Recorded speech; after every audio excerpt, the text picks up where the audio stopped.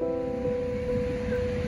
know, guys, something which us bodybuilders here on YouTube don't talk about, or at least not as much, is the toll that competing takes on your body, both physically and psychologically. It's it's not good. And in previous years, I gotta be honest, there were times when I put on 20 25, even 30 pounds of, let's be honest, pretty much mostly fat in as little as one month immediately after my competition. And guys, to be honest, you know, this time around, after my most recent show two months ago, to be perfectly honest, I still look pretty fucking damn good.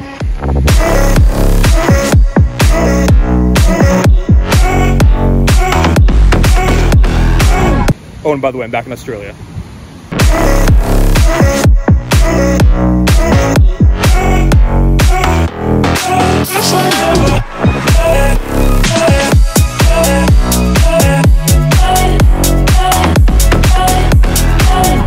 guys, welcome back. That was really loud, actually. Welcome back to my channel. This is Vitruvian Physique checking in once again from Gold Coast, Australia. Uh, Jordan and I actually flew out here couple days ago, and yes, it did take like 48 hours to get here. It was like the longest travel, flight, whatever of our lives, but it's okay, we are here. And I know that some of you guys right off the bat are gonna be saying like, really Igor, you know, you can travel anywhere in the world because you're, you know, you're fortunate in that sense to, you know, not have a nine to five job and essentially have the freedom to do whatever the fuck you want or go wherever the hell you want. And you go to the exact same place you did last time. And to that I say, yeah, but screw it, we just, we just love it. Like, it's very rare to find a place which is potentially like actually your favorite place on the planet. Like your this one city may be my favorite individual spot on the face of the earth. So in that case, fuck it. If I like it, I like it. But that's not what this video is going to be about. You know me, I'm not the kind of guy who's gonna do these videos where it's like, what's up guys, 30 minute vlog of showing off how cool and fancy I am. no, I don't really, like, I I don't really do that. I don't really give a shit about that. What I want to talk about today is almost like a follow-up, a practical follow-up to my December video where I essentially explained to you guys that for the first time in my entire life, let alone just here on YouTube, I am not going into the you know the new year 2020 with a specific goal to cut down or bulk up. I'm essentially just trying to maintain my physique. Most importantly, maintain a somewhat you know, uh, lean physique, which performs well, but also obviously looks well, all these things. And that was great, you know, I, we established the goal. How the fuck do you actually do it? That is the purpose of today's video. Like all of these different variables, you know, step by step, how am I planning on achieving this? That's what I want to talk about today. So first variable I want to talk about is actual body weight and is actually kind of give you guys a physique update of where I am looking right now. Also guys, by the way, I apologize if I keep on like switching on you in terms of my locations. I was like there, now I'm here. There's like these cute little birds which decided to sit like five feet from me to a point where they're very close but I can't actually reach them and like shoo them away. They're very cute, they're very beautiful, but they are loud as shit. You can probably hear them right now. So we uh, decided to change locations. Either way, when I competed, uh, I was pretty much like the day of my show, just on like just a hair under 170 pounds. However, that's not my real weight. That's kind of my like pruned version of myself because I'm this little deflated, dehydrated version of who I am just a week ago. A week ago, before I started the peak week with the crazy sodium and carbs and all this crazy mumbo jumbo, that would be my real weight. And that was around 174, 175, around there. That was my true physique weight. Since then, um, I have bulked up to a grand spanking total 184 pounds on the day of the footage that you guys are seeing on screen right now. And I gotta say, at least in my personal opinion, I know it could, there are guys who are better than me, there are guys who are worse than me, there are guys who blow me out of the water. I don't give a flying fuck. I know personally for me, I'm very happy with this because in previous years, that has not been the case at all. I think the worst one ever, this was my first show, which explains why it was the worst ever. Uh, I was like 178 or so on stage, and then I got up to 200 pounds within 30 fucking days. One month and I pretty much undid six, you know, five, six months of contest prep. I remember it was actually, it was, it was a painful learning experience. I had a music festival that I was going to that summer. It was my first ever music festival. And the timing worked out perfectly because it was honestly like three weeks after my competition. So I thought to myself, listen, I'm gonna compete. I'm gonna be tan, lean, big, shredded. I'm gonna look great. Then I'm gonna put on two or three pounds, not a big deal. And then I'm gonna get to the uh, the music festival and I'm gonna be the most jacked guy there. I'm gonna be like fucking Zyzz, bro. Like, ah. And I put on like 18 pounds within three weeks and I'm like, all right, time to put on a t-shirt and sit in the corner. I'm like two pounds away from man tits. And I, yeah, that year I learned the hard way. In previous years, it's gotten better, but it's still, it has been a problem. So to be at this level, and even in my case, having been training for over half my life now, uh, on YouTube and competing for like over five, six years now, this is technically a first and feels pretty good. Alright guys, next topic, calories, macros, what is going in my mouth? We are going to be talking about that. By the way, I, I, know, yeah, we're jumping around all over the place. Every single scene is like a different part of my Airbnb, but this time there's a reason. It's because I gotta break out the Microsoft Excel, my precious. My current nutritional targets are as follows 2,700 calories, which puts me at just around a maintenance based on what I know, based on personal experience for my body, or at the very most, that's like like a tiny deficit depending on how energetic and how uh, active I am during the day. Did I work out? How hard did I work out? Did I run, sprint, climb? All those things can push my metabolism a little bit higher. Protein, fat, carbs are going to be 25, 25, and 50% uh, respectively, of my uh, incoming calories, which works out to 170 grams, 75 grams, and 335 around there. Now, you guys might be wondering, like, okay, Igor, you just threw all this information at us. You know, what the hell are you doing? Why is your protein, you know, not as high as some other guys do? Why is your carbs kind of high? Just, don't worry, I'm gonna get through all of that. We're gonna go through it step by step. Protein intake, you guys might, some of you, I'll be honest, wondering, Igor, that's not that high. I mean, 170 grams of protein, that's not even like, that's not even your body weight. It's not even that magic one gram of protein per pound of body weight number. Like, what the hell are you doing? I know people who eat more than that who are smaller than you. They eat two, 250, you know, whatever grams of protein. And honestly, that is not my strategy, and that is absolutely not uh, not necessary for three reasons. Number one is I am no longer eating in a calorie deficit. When you are eating in a deficit, an energy deficit, your body is at a higher propensity or a higher likelihood of essentially running out of protein because it's using uh, ingested protein in your food for purposes besides just you know muscle protein synthesis and muscle retention. It's literally taking a part of that protein and burning it up for energy because it doesn't have enough energy coming in the form of other food, you know, fat and carbs. Because again, calorie deficit, energy deficit is the key phrase here. And there's even a possibility. It's unfortunate, and uh, you know, especially for natural guys, it's annoying. But it's there's even a possibility that not only is protein going to be metabolized for energy that you ingest, but your actual muscle fibers can be theoretically broken down. This is a big reason why it's almost like inevitable that when natural guys uh, diet down to relatively low body fat percentages, it's in you know it's impossible. We are going to lose at least some uh, level of lean body mass. At least some, a little bit of muscle is unfortunately lost in the process. Unless you've got crazy genetics, you're on steroids, or you're like very new to training, in which case like you just touching a weight is gonna make you blow up because it's such a new stimulus for your body. Uh, number two is because I'm not stupidly lean anymore. When you are like rel- like very lean, you know, in my case, you know, 12, 10, even less percent body fat, it kind of like falls into the same, uh, under the same umbrella you just, you don't have enough energy, you don't have enough body fat, you're just this skinny, shriveled up little prune version of yourself. And number three is I am not on steroids. I don't know what people who are on performance enhancing drugs, anabolic steroids require from a protein standpoint, but based on some knowledge from what I've seen from guys just talking about it on like YouTube and vlogs and forums and shit, it would make sense. If you're gonna put on like 10 pounds of muscle in like 12 weeks, almost like a pound of muscle a week, which is like ridiculous. It's like magic. It's it's, unpo- it's, it's, it's mostly impossible for natural individuals. Yeah, that makes sense that you would probably require a little bit, and by a little bit, I mean a fuck ton more more protein uh, than someone in my scenario. Uh, next up, carbs and fats, which are kind of like two variables, but we're going to be kind of tackling them together because in this case they're somewhat interchangeable. That's that's one thing I wanted to mention right off the bat. That if there are days when I eat more fat, maybe I went out to eat, I got a burger, fries, wings, whatever, and I got more fat, that's okay. I'm not going to be like, well that's it, I'm fucked, might as well quit. No, it's not the end of the world. I just adjust for this by bringing my carbohydrates down. You got your protein, you got your calories, and in my case, especially because I'm not that strict, not being on a comp, you know, competition prep or anything, if your protein and carbs, you know, they're not perfect, they're not exactly aligned with your targets, it's not the end of the world. Just make an adjustment. One goes up, the other one comes down. For the most part, they are somewhat interchangeable. Somewhat interchangeable being the keyword because the last thing I want to mention about this is an interesting it's an interesting theory.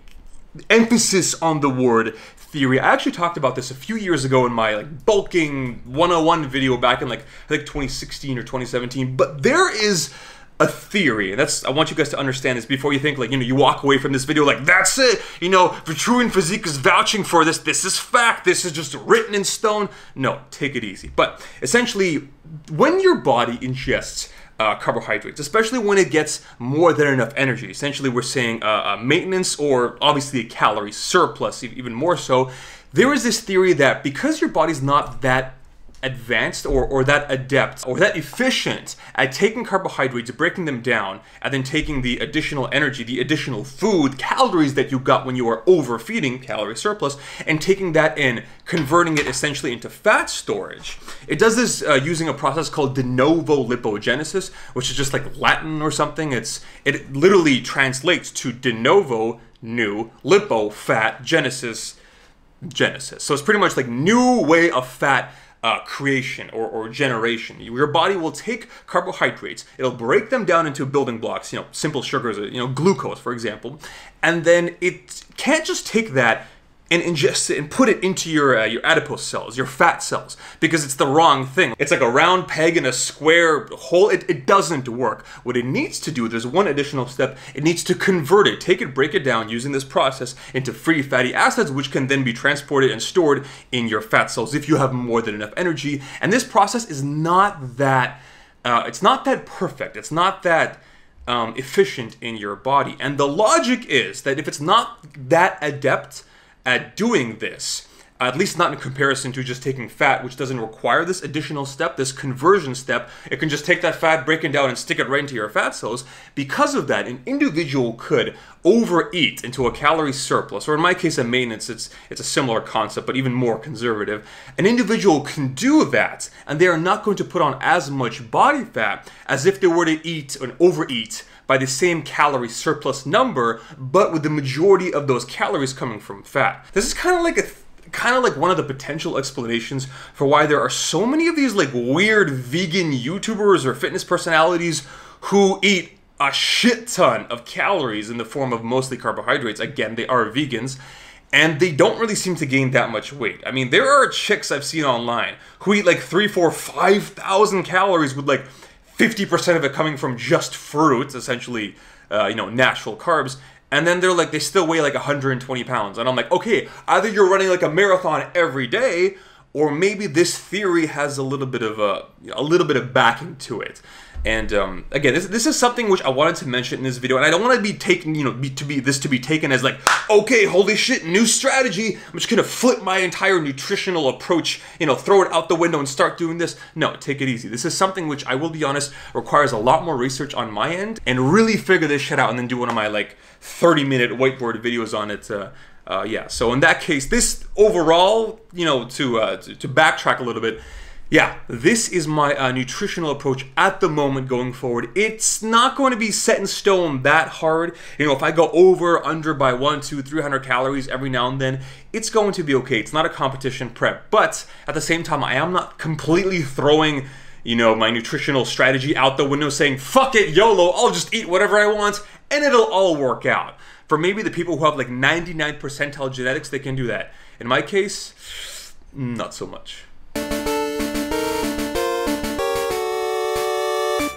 Okay, the last thing I want to talk about, this one is like, sort of also akin to kind of like my nutritional strategy, but it's more so practical application. We know what numbers I'm going to be aiming for generally, as I mentioned earlier in the video, but how am I actually going to do that? And most importantly, make it easy. Now, I know there's certain things like uh, you know, intermittent fasting, which I've talked about a thousand times, and that's obviously something I'm going to be implementing to a certain extent. I'm not gonna be doing something crazy like eight hour fats probably anymore, but you know, if I wake up at eight, probably not gonna have anything till lunch around, you know, like noon, give or take. But that's not what I'm referencing. This is something which I have always, I'm gonna be honest, I fuck this up every year. And every year I, I, always tell myself, like, listen, if you just did this, it would make your life so much simpler and it would make it so easier for you to like still, you know, eat a decent amount of food, but at the same time not turn into a fat ass, which I've done in previous years as I rebound from the competition. So when we are dieting, if you're anything like me, which again, 99% of you to a certain extent probably are,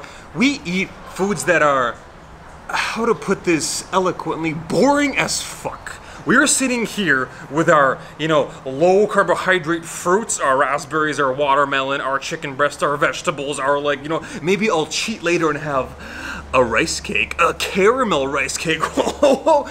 yeah, it's uh, it's it's not that fun because obviously you're trying to eat foods that are going to fit your macros and most importantly, the very low in calorie density, the amount of calories per actual like amount of food that's going to like fill up your stomach. Now that obviously sucks. And when we're usually done dieting for, you know, in my case it was a show, for some of you guys out there it might just be to hit a certain you know, body weight target or summer or whatever you are doing. You know, some people email me and they're like, I want to diet down for a wedding. Whatever your reasoning may be, whatever like whatever that deadline is over and it passes, if you're anything like me, you just fucking hit the gas on eating shit. We, like, you know, finally you can eat theoretically whatever you want. I mean, you shouldn't, but you do. You do, let's be honest.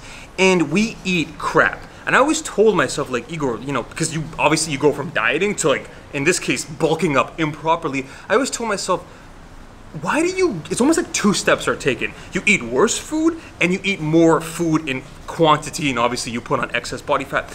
But if i just took the best of both worlds you know i could eat more food now because i'm no longer dieting but at the same time i'm not going to eat that crap food. I'm going to continue to eat the clean food that i was eating before you know relatively clean. I'm not saying i'm i'm not going to sit here and literally just be like broccoli chicken rice that's my life.